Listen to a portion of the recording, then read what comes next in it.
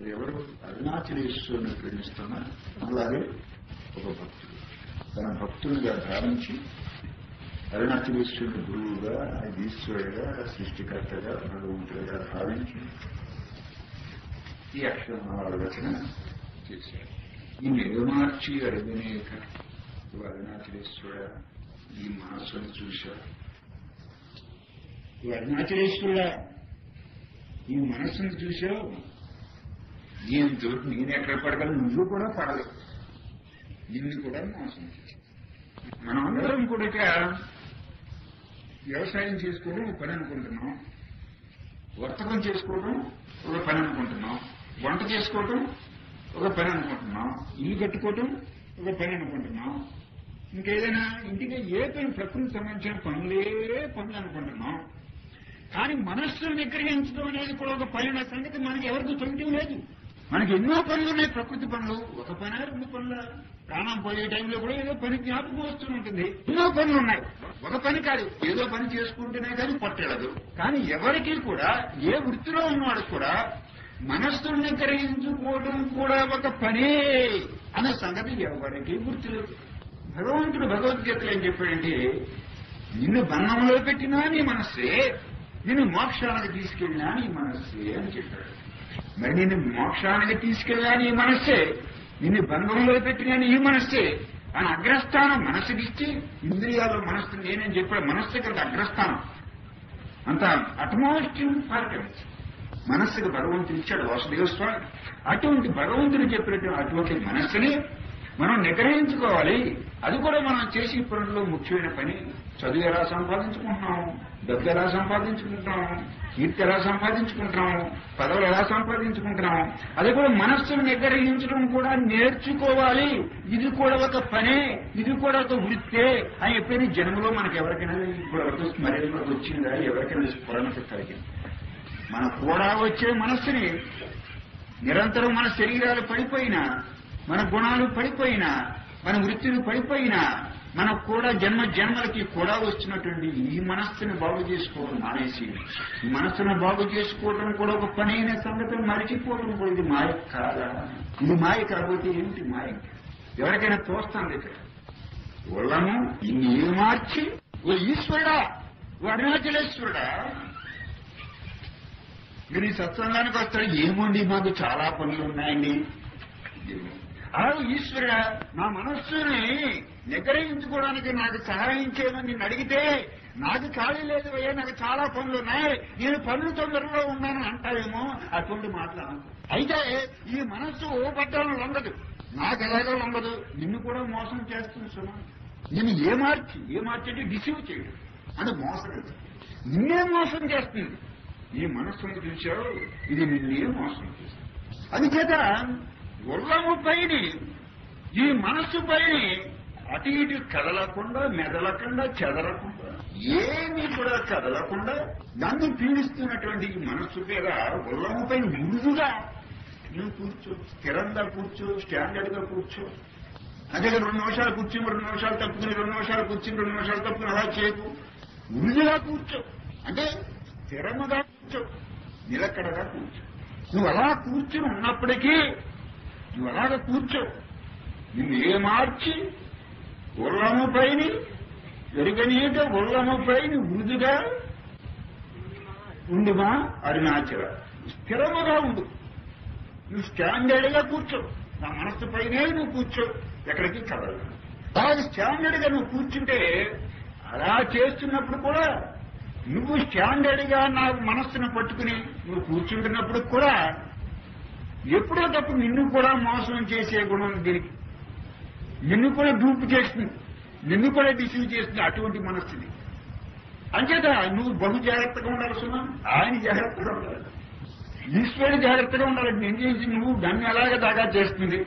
ఒకవేళ నువ్వు కోరుకోవాలనుకున్నావు నిన్ను దాగా చేస్తుంది అంటే నువ్వు కూడా జాగ్రత్తగా ఉండి నన్ను కాపలా కాయాలి. మాయలో పడకుండా ఈ మనస్సుని ప్రకృతి గొడవల్లోకి వెళ్ళకుండా మాయలో పడకుండా ఈ మనస్సు నేను మాయలో పడిన మనస్సు మాయలోకి వెళ్ళకుండా దీన్ని వృద్ధిగా ఉంచి నా పైన ఈ పైన వృద్ధిగా స్థిరంగా స్టాండర్డ్గా కూర్చొని నిన్ను కూడా మోసం చేసి నిన్ను కూడా దగా చేసి బయటకు వెళ్ళిపోతూ ఉంటుంది. ఒకసారి రామ రామ అనుకుంటాం మనసు ఎక్కడికో పోతాం ఎందుకు అనుకూలం ఉండదే రమణస్వామి చెప్పాడని మీరు నమ్మొద్దు.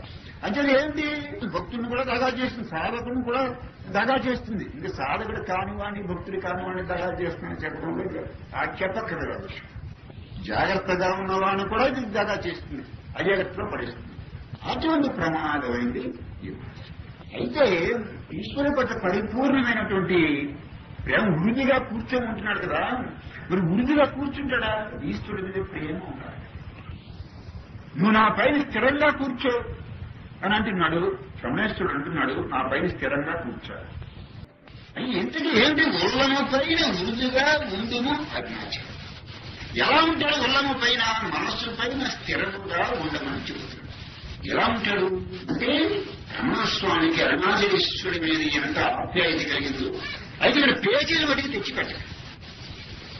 పేచీలంటే ఏమిటి? పేచీలంటే ఏమిటి? రమణస్వామి అరుణాచలేశ్వరుని ఎక్కువ ప్రేమించాడా? లేదా అరుణాచలేశ్వరుడు రమణస్వామిని ఎక్కువ ప్రేమించాడా? మీరు ఇటువంటి సంచారం ఎప్పుడు వస్తున్నది మీరు అక్షరం అనవలసినప్పుడు రమణస్వామి అరుణాచలేశ్వరుని ఎక్కువ ప్రేమించాడా? లేదా అరుణాచలేశ్వరుడు రమణస్వామిని ఎక్కువ ప్రేమించాడా? ఇది మటుకు నేను చెప్పలేదు కృష్ణుడికి రాధ మీద ప్రేమ ఉంది. రాధకి కృష్ణుడి మీద ప్రేమ ఉంది.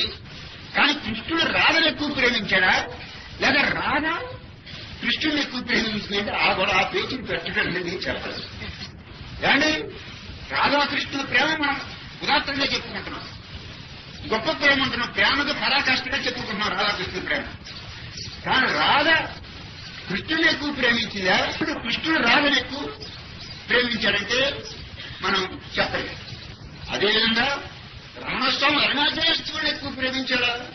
అరుణాచలేశ్వరుడు రమణస్వామిని ఎక్కువ ప్రేమించాడంటే అది మన ఎదురుగా వివరంగా చెప్పాలి ఉల్లము పైన ముందుగా ఉండు నా ఉల్లం మీద నా మనస్సు మీద స్థిరముగా ఉండు అరుణాచలం. ప్రహ్లాదుడు భాగవతుడు మాట చెప్పాడు దీనికి పోలిగ్గా.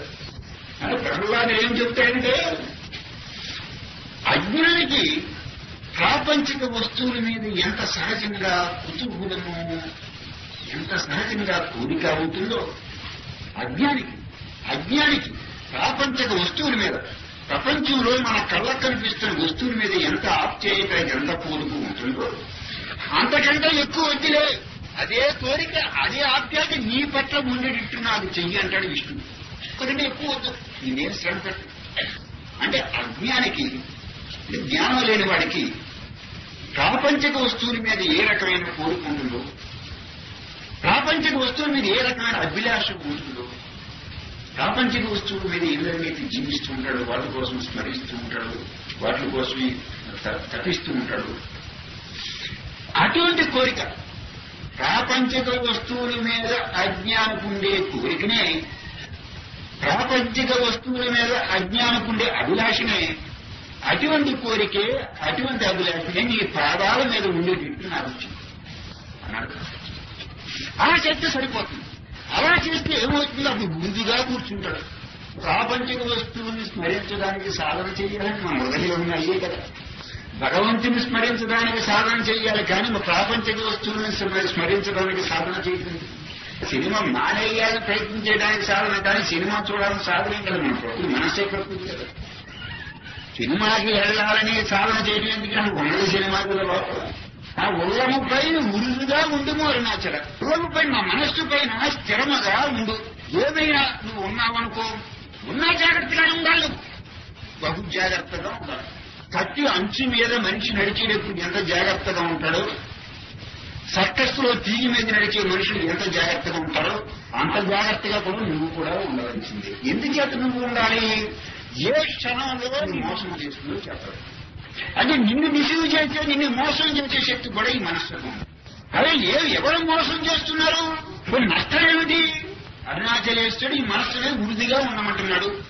అంటే స్టాండర్డ్గా ఉండమంటున్నాడు. స్థిరంగా ఉండమంటున్నాడు. అయితే ఉండడు అనుకోండి అరుణాచలేశ్వరుడు ఉండడు అనుకోండి నష్టం ఏంటి? నష్టం ఏమి లేదు. మనకి ఇంద్రియాలు ఉన్నాయి. ఇంద్రియాలు ఏం చేస్తాయి? ఎప్పుడైతే మనస్సు అజాగ్రత్తగా ఉందో దీన్ని మనసును బయటకు రాకొచ్చాడు కాళ్ళు పులి ఎత్తేసి ఉందనుకోండి బొల్లు వచ్చేస్తాడు అదేవిధంగా మనస్సు దగ్గర సహజంగా ఏముంది? బహిర్ముఖమై అలవాటు ఉంది. ఇంకేదో ప్రకృతి కాదు. ఒక పంచభూతాలే ప్రకృతి కాదు. మనస్సు ప్రకృతి అహంకారం ప్రకృతి ఇద్దరం ప్రకృతి.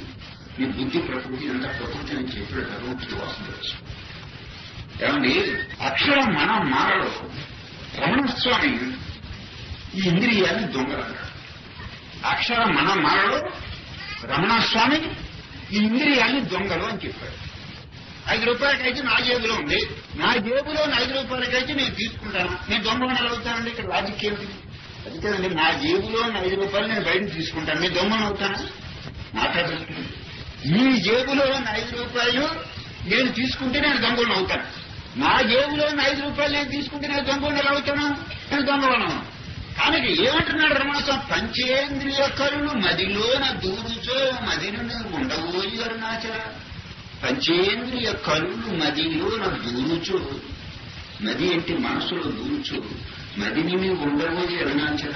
అంటే దొంగలు కళ్ళు అంటే దుర్మార్గులు దొంగలు ఇప్పుడు నా మనస్సు ఎవరు లాక్కెళ్తారు? నా ఇంద్రియాలు లాక్కెళ్ళిపోతున్నాయి కదా. నా మనస్సు నా ఇంద్రియాలే లాక్కెళ్ళిపోతుంటే ఇంద్రియాలు దొంగలు అవుతాయి. ఇది న్యాయంగా ఉంది. దొంగలు అన్నాడు ఇక్కడ. పంచేంద్రియ కళ్ళు కళ్ళు అంటే దుర్మార్గులు కళ్ళు అంటే దుష్టులు కళ్ళు అంటే దొంగలు ఇక్కడ ఏమంటున్నాడు? అరుణాచలేశ్వరుడా ఈ పంచేంద్రియ కళ్ళు ఇంద్రియాలనే దొంగలు. మదిలోన దూరుచు మదిలో ప్రవేశిస్తే నది నువ్వు ఉండవు పోక బయటకు పోతావు. నువ్వు మరి ఆ నదిలో నువ్వు ఉండవు. అటువంటి మనసు ఇంద్రియాలు ఎక్కడైతే ప్రకోపిస్తున్నాయో ఎక్కడైతే మనస్సుని ఇంద్రియాలు స్వాధీనం చేసుకున్నాయో దోపిడీ దొంగలు ఎక్కడంటే మన పేపర్లో దోపిడీ దొంగలు తర్వాత నక్సలైట్ల గురించి చూస్తున్నా కానీ ఇంద్రియాలు నక్సలైట్ ఆ దొంగల కంటే పెద్ద దొంగల కంటే ఇంద్రియాలు. ఆ నంగలమనుకుంటే మీరు రమణస్వామి చెబుతున్నాడు తిట్టుకుంటాడు తిట్టుకుని ఆ వారి ఇంటికెళ్ళి దోచుకెళ్ళారు వాళ్ళు అందుకు దొంగలంటాం ఉద్యోగం రాజకీయం ఇక్కడ ఆ ఇంద్రియాలు వచ్చి నా మనస్సునే దాకెళ్ళిపోతాడు దొంగలంటాడంటే అంటాడు ఇంటికి మీరు తేడాసి ఈ మనం ఏమనుకుంటున్నామని ఇంద్రియాలు శ్మశానంలో కాలిపోతాయేమో అనుకుంటున్నాం కాలమని శ్మశానంలో కాళీ ఇంద్రియాలు కాలి పొగలకు కాలమని ఈ కోపాగ్ని కాలవు జ్ఞానాగ్ని కాలవు ఇంద్రియ కోసం నీ కోపం వచ్చినప్పుడు ఇంద్రియాల మీద కాలవు కోపాగ్నికి కాలే కాదు. నీ కోపం వస్తే బయటకు తప్పుకుని కాదు కోపం వస్తే రక్తపోటు వస్తుంది. కోపం వస్తే రక్తపోటు వస్తుంది కానీ ఇంద్రియాలు మడికి అనవు కత్తిలో వల్ల వచ్చిన అగ్నికి ఇంద్రియాలు కారం కోపం వల్ల వచ్చే అగ్నికి ఇంద్రియాల కారం ఒక జ్ఞానాగ్నికి మటుకే కాదు. ఇక్కడ నా ఇంద్రియాలు ఈ దొంగలు వచ్చి నేను నువ్వు అజాగ్రత్తగా ఉంటావనుకో. నువ్వు ఏమరపాటు ఉంటే నువ్వు అజాగ్రత్తగా ఉంటే ఏడో వాడు అరుణాచల అరుణాచలం నేనేదో ఒకసారి అంటూ ఉంటాను ఒకసారి అన్నాను అది నేను అజాగ్రత్తగా ఉన్న జీవలక్షణంలో ఉన్నాను. నేనేదో ఇంకో ఒకప్పుడు జాగ్రత్తగా ఉంటాను ఒకప్పుడు అజాగ్రత్తగా ఉంటాను అయ్యా. నువ్వు మటుకు ఎప్పుడు జాగ్రత్తగా ఉంది అంటే గార్డెన్ రక్షణ అంటే వాడికి విడిచిపెట్టేస్తున్నాడు అరుణాచలేసి ఏమో నా మాట ఏంటో ఏం చెప్పాలి మనసు కుదురుగా ఉంటుందండి. స్థిరంగా ఉంటుంది మనస్సు నిలకడగా ఉంటుందా? గంటకు తర్వాత అనిపిస్తుంది. ఇస్తుంది అంటే ఏమో ఎలా ఉంటుందో? నువ్వు మటుకు జాగ్రత్తగా ఉండు సుమా. నేను అజాగ్రత్తగా ఉంటే నువ్వు నువ్వు అజాగ్రత్తగా ఉన్నావు కొనుక్కు ఇంద్రియాలు. నువ్వు అజాగ్రత్తగా ఉంటే ఎలాగా? నువ్వు కూడా జాగ్రత్తగా ఉండు. నిన్ను కూడా మోసం చేసే లక్షణాలు ఉన్నాయి. అయితే ఇక్కడ దొంగలు అన్నాడు బాగానే ఉంది కొన్ని ఇంద్రియాలు ఎవరి? నాయి. మనస్సు ఎవరిది? నాయి. కొన్ని నా ఇంద్రియాలు నా మనసులో తీసుకుపోతాం దొంగలు అంటాడు ఏంటి? ఇక్కడ? ఇది కోర్టుకు వెళ్ళవలసిన అంటే భగవంతుడు మాట చెప్పాడు భగవద్గీతలో. మనస్సు అనేది భగవంతుడి సొత్తు కానీ ఇంద్రియాల సొత్తు కాదు అన్నాడు. అంచె దొంగలు అన్నాడు. మనస్సు అనేది నా అంశ. జీవుడు అనేది నా అంశ. సూర్యుడి యొక్క కిరణం భూమి మీద పడవచ్చు. సూర్యుడి యొక్క కిరణాలు భూమి మీద పడినప్పటికీ ఆ కిరణం సూర్యుడిగా కానీ భూమి మీద కాదు. సూర్యుడి యొక్క కిరణాలు భూమి మీద పడతాయి. కానీ కిరణాలు ఎవరి? సూర్యుడియే భూమియే. సూర్యుడే అదే నీ మనస్సు కూడా నా అంశ. ఇది జీవుడు నారాంశ. సనాతనంగా మీ యుద్ధం వస్తున్నావు నా అంశ నువ్వు అయినప్పటికీ సృష్టికి పుట్టిళ్ళు ఆత్మ. జీవుడికి పుట్టిళ్ళు ఆత్మ. కానీ పుట్టిలు ఇంద్రియాల మధ్య కాదు. అంటే మనస్సు ఈశ్వర స్వరూపం కాబట్టి జీవుడు ఈశ్వర స్వరూపం కాబట్టి ఇంద్రియాలు కాదు కాబట్టి ఇంద్రియాలు కాని సొత్తు ఎవరి సొత్తు? మనస్సు ఈశ్వరుడు సొత్తు. కానీ దోచిపోతాయి ఇంద్రియాలు దోషిపోతున్నాయి కాబట్టి నీ సొత్తు నువ్వు కాసుకోవయ్యా ఇంద్రియాలు దొంగలు వస్తున్నాయా? అంచేత మనస్సును పడగొట్టి ఇంద్రియాలు బహిర్ముఖంగా చేయిస్తున్నాయి కాబట్టి ప్రకృతి వైపు లాక్కెళ్ళిపోతున్నాయి కాబట్టి అంటే మనస్సు ఇంద్రియాలు కాదు కాబట్టి మీరే కాబట్టి నువ్వు జాగ్రత్త పడగా అలా తెలుసుకుంటా పంచేంద్రియ కళ్ళు నదిలో నా దూరుచు నదిని నువ్వు ఉండవు అరుణాచలం